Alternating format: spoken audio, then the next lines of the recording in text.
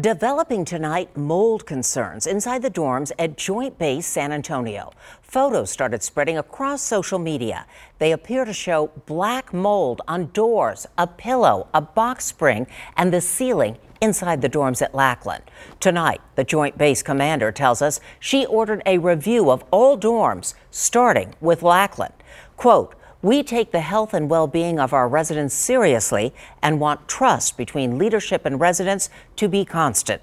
All concerns relating to this will be re examined, uh, examined, validated, and corrected immediately.